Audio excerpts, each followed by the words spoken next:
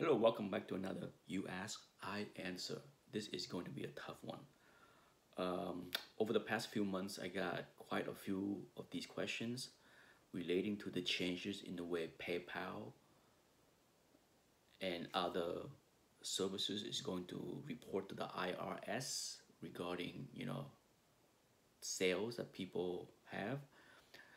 As of right now, this is 2021, uh, you can have you know transaction up to 20,000 or I or I think as long as your transaction is either 20,000 or less and the number of transaction is 200 or less something like that. I don't do that much sales uh, with PayPal to completely remember the rule but all that will change in 2022 it's gonna be 600 hundred dollars okay? So a very small number. Um, and the question is how would that impact the hobby? Hard to say but it will certainly slow down somewhat right? At the least it will slow down some participation of some people. That's my guess. My recommendation to everyone that have asked that question is keep a good record of everything you buy and sell going forward. You must. What I have done for over a decade now is I created a folder in my email that every time I bought something grab that email confirmation, whether it's eBay or ComicLink or wherever it is, my comic shop, and I drop it right into that folder to save. Okay? Selling, they keep the record. ComicLink keep the record. My comic shop keep the record. Uh, so, you know, and then of course, if I sell on YouTube, PayPal have the record, all right? So I, I have all the record of everything that I bought and sold. I don't buy things in cash. I sell something in cash, but everything that I bought is with a credit card. So there's a record of everything. I save all my email confirmation of everything I buy, so I have a record. Um, for sure, I think most people that ask me this question, I use a standard talk to your CPA, talk to a professional that know how to do tax reporting, um, and do the right way.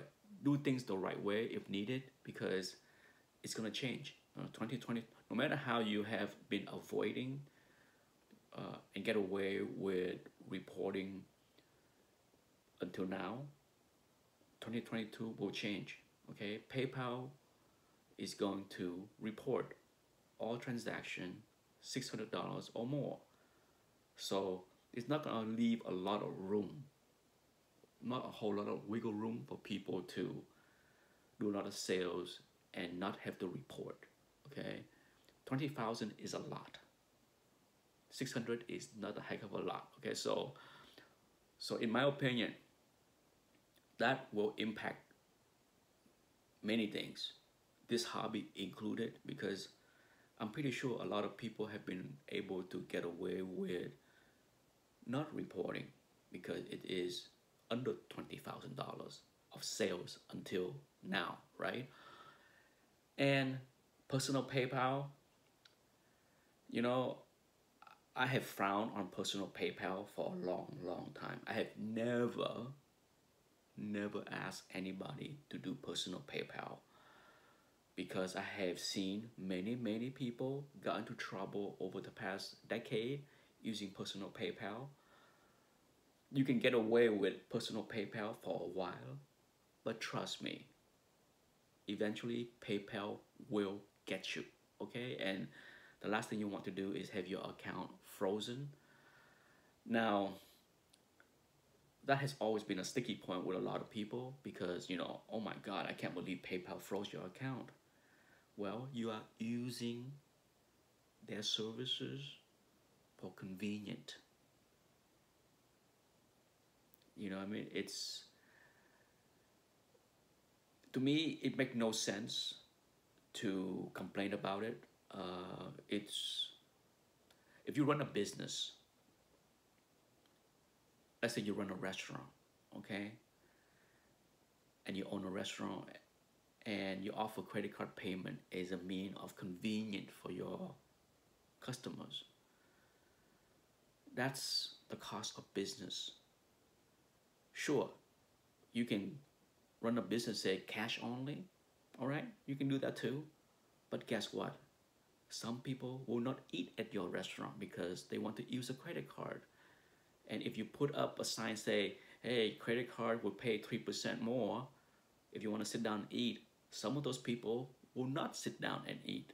Okay, so to me, using credit card, whether it's PayPal or what, whatever other services, it's about convenience. And as a business owner, I'm okay paying the fee. I have always tell every single person that asks me, do you want personal PayPal or regular PayPal? I'm always say regular PayPal. You are protected, I'm protected. I don't have a problem reporting this stuff. It is what it is, okay? I don't mind paying the 3% fee. That's the cost of doing business and I'm okay with that.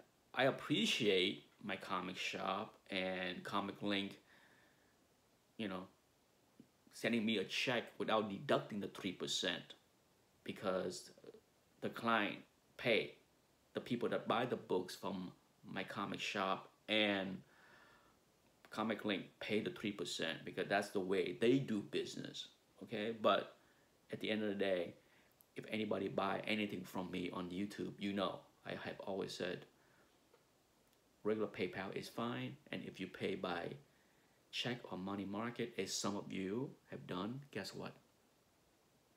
I give you a, a portion of that saving back to you as a discount, right? So I understand how other people don't like to do things that way because they like to beat the man.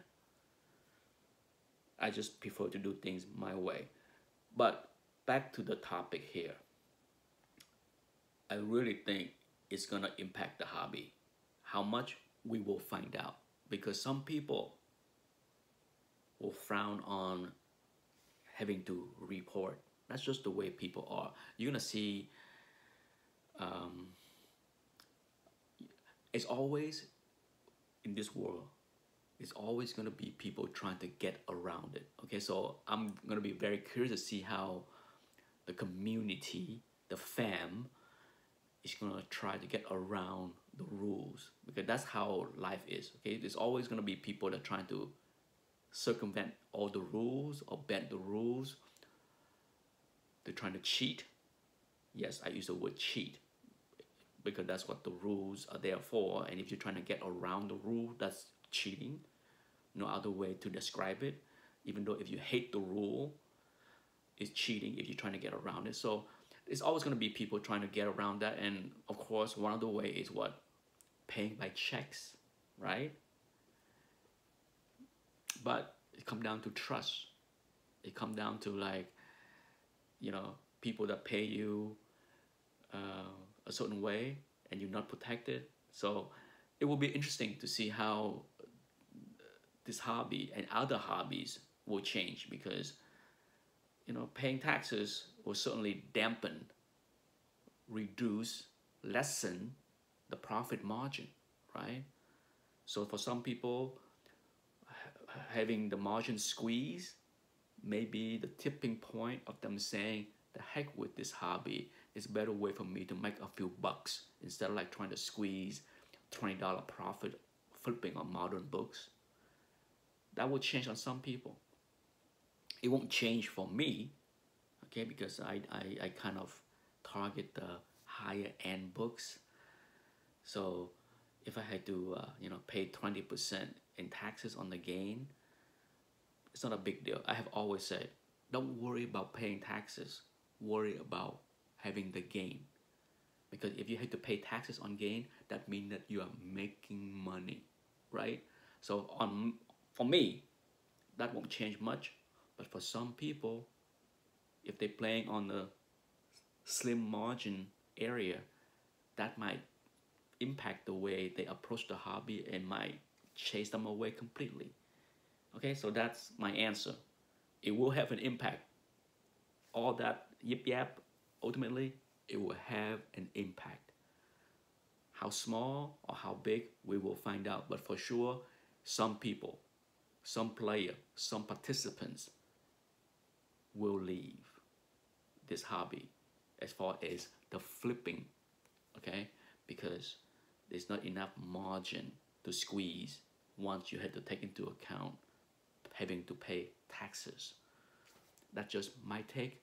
I can't wait to see how things will change because I don't know, okay? I cannot wait to see how it will impact the hobby, but it will some way, somehow. And I can't wait to see how people trying to circumvent it. A whole lot of trust, okay? We'll see who gonna trust who. Thanks for watching. Bye-bye.